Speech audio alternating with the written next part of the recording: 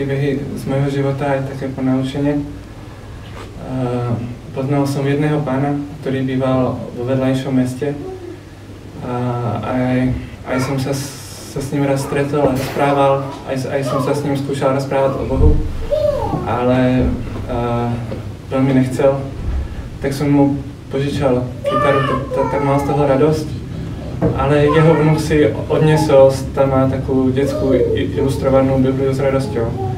A tento pán vlastne potom o rok neskôršie, to bolo asi pred dvomi rokmi, tak vlastne skončil na vozíku a potom o další rok neskôr tak, tak uhorel zaživa.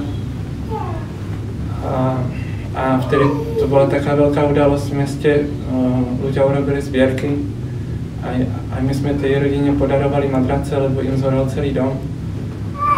A, a vlastne ako horel, tak vlastne myslím, že na ňom spala deka, keď bol na vozíku. A ak už bolo neskoro, pak už iba jeho vnúk a dcera videli, ako horí, kričí.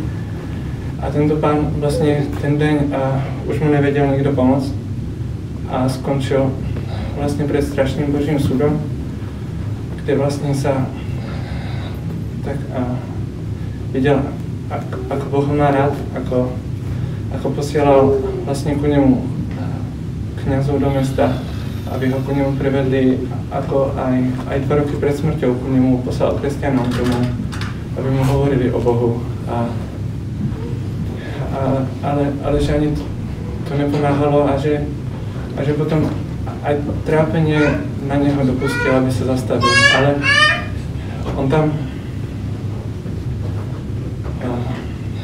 on tam bol pred, pred Bohom a hambil sa, lebo vedel, že že si nezaslúži nič, lebo vlastne on behem svojho života pil, svoju ženu pálil a vlastne sa mu dostalo ako po zásluze a že, a že to utrpenie, ktoré sa mu dostalo, ktorým si prechádzal, takže bolo vlastne mu, mu na uvedomení si a na pokajanie sa, lebo často si uvedomíme to, čo my robíme druhým, vlastne vtedy, keď keď na nás Pán Boh dopustí také isté trápenie, aby sme sa z toho zavčasu pokajali a aby, a aby sme sa vyhli potom vlastne tomu skutočnému trestu. A, tak som chcel, a, chcel tak povedať, že pamätajme na to, že, že keď sa nám napríklad deje nejaké trápenie alebo tak, tak či nám to nie je ako tomuto pánovi ktorý vlastne v poslednej chvíli prežíval to, čo sa, to, čo sám robil svojej manželke. Či nám to nie je ku tomu, že na poslednú chvíľu nám Pán Boh dáva šancu sa pokajať, uvedomiť si, čo my sme druhým porobili. A, a teraz taký druhý príbeh, taký lepším koncom, že vlastne na Ukrajine vlastne, keď začala zbúra, a, a vojna, tak vlastne najhoršie na tom dopadol Donecký okres, kde vlastne teraz sa ešte každý týždeň strieľa. A, a vlastne Donecko, tak tam bolo oveľa viacej potratov ako na ostatnom území Ukrajiny. Aj keď tam putoval opasok Bohorodičky, tak tam nebol o to záujem veľký. A vlastne teraz tam a, prešla vojna, prešli tam tanky, Stále tam sú zákopy, stále sa tam strieľa, stále sú ostreľovači. Sú frontové mesta, ako je Krásna Horivka, ktoré sú kilometr od zákopov, kde, kde nemajú plyn, lebo to sa rozstrelí. Ale na slavu Božiu, tak títo ľudia v tej Krásnej Horivke, tak z 15 členej cirkvi, ktorá tam bola pred vojnou, keď tam bývalo 10 tisíc ľudí, tak teraz tam je 300 člená církev a býva tam 3000 ľudí. A vlastne kamarát, ktorý tam pomáha ako dobrovoľník už, už veľa rokov, tak mi hovoril, že tí ľudia, keď, keď vlastne videli smrť a vedeli, že ďalší deň môžu, môžu zomrieť, takže vlastne si rýchlo rozmysleli, že vlastne, že či je väčší život, či nie je väčší život. A, a, a veľa z nich sa navrátili do, do cirkvy a a vlastne teraz je tam ako taký prvý katechumenát, že vlastne bývali alkoholici a ľudia, s ktorými to všetci ako vzdali, lebo nemali potom ani kam ujsť. Tak tá vlastne sa učí žiť kresťanský život.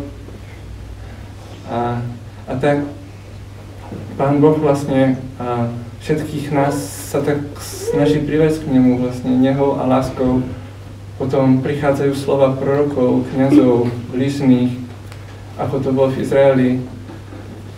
Vlastne keď sa Ninive pokajalo na kazeň Jonáša, keď im dával vlastne ultimátum, alebo keď sa král David pokajal, keď vlastne pán Boh mu oznámil smrť jeho bábetka. A, tak, a, a takisto, ako veľa ľudí v Donecku sa pokajalo potom, čo, čo vlastne prešli a prechádzajú tým čo, čo tam teraz majú. A vlastne Pán Boh to všetko robí, aby nám pomohol sa vyhnúť tomu väčšnému trestu, o ktorom Izus hovorí, že plamen nehasné a, a že tam sú červy, ktorí, ktorí, ktorí žerú. A, a tak vlastne a, sa, sa hovorí, že tie utrpenia tu sú tienom toho väčšného utrpenia, a tak da, daj Boh, aby sme sa tomu väčšnému utrpeniu vyhli a na strašný Boží súd mysleli a pamätali a, a všetkým všetko odpustili, aj keď to môže byť ťažké. A, a keď sa nám čo zle deje, tak sa porozmýšľali a, a keď si spomenieme na dačo z našej minulosti, tak sa z toho pokajali. Tak daj Boh.